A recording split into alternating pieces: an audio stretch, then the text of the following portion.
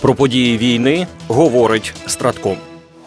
Головнокомандувач збройних сил України генерал Валерій Залужний провів телефонну розмову з головою об'єднаного комітету начальників штабів США генералом Чарльзом Брауном, під час якої була обговорена обстановка на фронті. Розповів про введення противникам локальних наступальних дій на Куп'янському, Лиманському, Бахмутському, Авдіївському та Мар'їнському напрямках. Водночас сили безпеки та оборони завдають ворогу суттєвих втрат у живій силі та техніці, а також виснажують його вздовж усієї лінії фронту. Йдеться в повідомленні від головнокомандувача ЗСУ. З генералом Брауном домовилися продовжувати спільну роботу над пошуком технологічних рішень для здобуття переваги над противником у повітрі, вогневому ураженні та розмінуванні.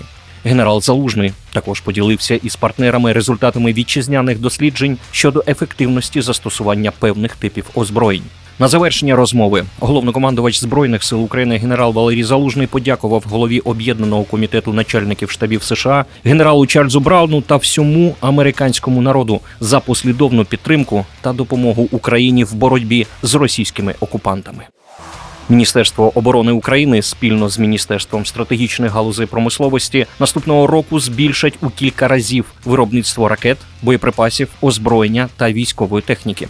Головна увага буде присвячена виробництву засобів протиповітряної оборони від звичайних переносних зенітно-ракетних комплексів до систем ППО з дальністю більш ніж 100 кілометрів на кшталт ЗРК Корал. Про це йдеться в повідомленні Міністерства оборони України. Крім того, в затвердженому бюджеті на 2024 рік передбачено, що близько 175 мільярдів гривень виділяється на закупівлю ракет і боєприпасів, щоб наші сили оборони могли гідно протистояти російській агресії, заявив заступник міністра оборони України генерал-лейтенант Іван Гаврилюк. Євросоюз поки не досяг мети у поставках одного мільйона снарядів для України упродовж року, і щоб виконати своє зобов'язання до встановленого терміну, тобто до березня 2024 року, європейські компанії мають перенаправити свій експорт боєприпасів з третіх країн до України. Про це на річній конференції Європейського оборонного агентства заявив високий представник Європейського союзу Жозеп Борель. За його словами, необхідно також нарощувати обсяги виробництва та збільшувати спроможності оборонної промисловості ЄС. При цьому він нагадав, що реакція Європейського союзу на російську агресивну війну проти України була безпрецедентною у багатьох вимірах, зокрема у військовому. Були зруйновані табу. Поставки зброї для країни у війні це було щось, що Європейський Союз ніколи не робив до того. Відтоді ми мобілізували 27 мільярдів євро військової допомоги, надали тренування для 34 тисяч українських військовослужбовців по всій Європі, майже в усіх європейських країнах. І ми плануємо збільшити цю кількість українських солдатів до 40 тисяч вже протягом найближчих тижнів. Це безпрецедентно. Це змінило політичний пейзаж Європейського союзу та його роль як постачальника безпеки і оборони, зауважив високий представник ЄС.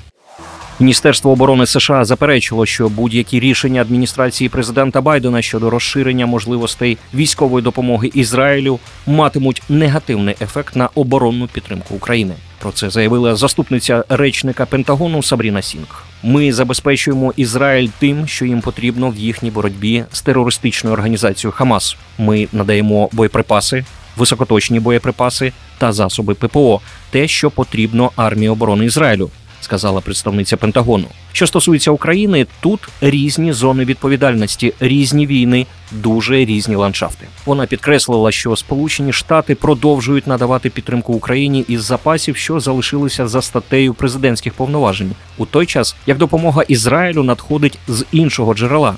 Фонду іноземного військового фінансування ми продовжуватимемо надавати обом країнам те, що їм потрібно, резюмувала Сабріна Сінг.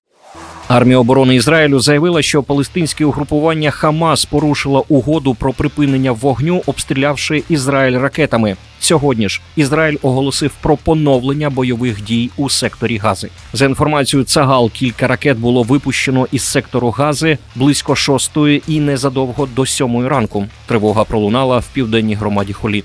У відповідь армія оборони Ізраїлю відновила військову операцію проти Хамасу у секторі Гази. Місцеві жителі повідомляють про авіаудари, яких завдала ізраїльська авіація. Крім того, повідомляється, що Хамас зранку 1 грудня не надав список заручників для звільнення, що було однією з умов продовження перемир'я. Український снайпер, який воює проти російських загарбників, очолив світовий рейтинг бойового снайпінгу. Його ім'я не розголошується. Відкритою інформацією є те, що він знаходиться в рядах Служби безпеки України, влучив в російського солдата з відстані у 3 кілометри 800 метрів та має на озброєнні гвинтівку українського виробництва Володар Обрію. Попередній рекорд був встановлений канадським снайпером у 2017 році. Під час несення служби в Іраку він влучив у бойовика угруповання Ісламська держава з відстані 3 кілометри 540 метрів. Додамо, що в топ 5 рейтингу бойового снайпінгу є ще один українець. Його ім'я теж не називається. Відомо, що він служить в силах спеціальних операцій збройних сил України. Свою ціль він уразив в листопаді минулого року з американської гвинтівки Макмілан Так 50 на відстані 2 кілометри 710 метрів. Переможемо. Програма створена управлінням стратегічних комунікацій апарату головнокомандувача збройних сил України.